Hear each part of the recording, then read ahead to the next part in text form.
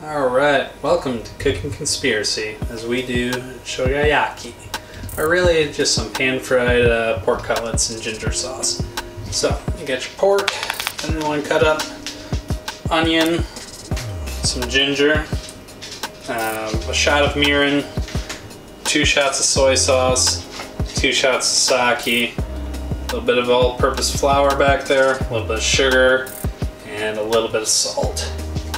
And this is what we're going to be working with. And my loyal dogs answering the hate mail from the neighbor.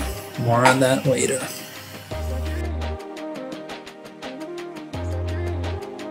Alright, here we go. Measuring cup, well, mixing bowl, whatever, doesn't matter. Two shots of soy sauce. Or, you know, half a cup. Half cup of sake or two cup or two shots, they're about the same. In goes your mirin. About two tablespoons of sugar. Uh, hold on a second. It'll dissolve, it's alright. And got some ginger here.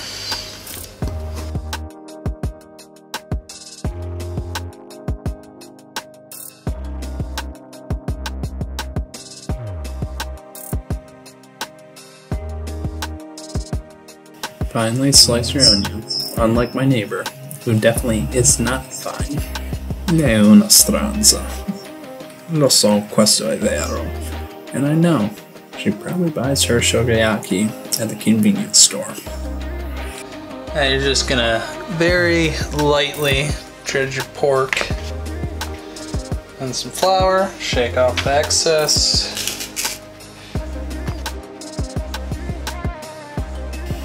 Preheat your pan, and you should know it's ready to go when you can drop a little bit of water and it beads up.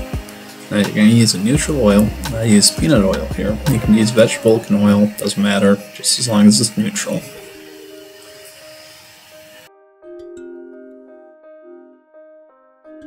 These are super thin, so they won't take long, maybe 30 seconds, a minute on each side. You don't even need to flip them. Don't worry about cooking them all the way through, because they'll finish in the sauce. Like sauce, like my neighbor's probably on the sauce. I'm pretty confident about that. I would probably be overly sensitive to barking dogs if I was hungover all the time too. Maybe we should get her to a 12 step. That would also explain why she always has to have her window open for fresh air. Anyways, a little bit of oil um, before you add your onions back in. And you're gonna stir those around, cook them 5-6 minutes over medium heat.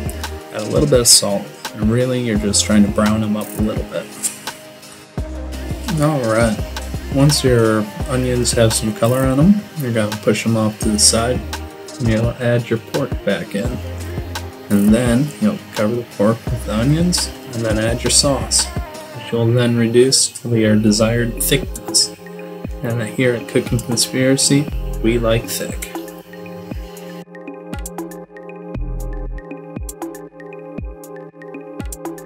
Now, as your sake and as your mirin boil off, well, the neighbor doesn't have that issue because she probably drank it before she put in the sauce.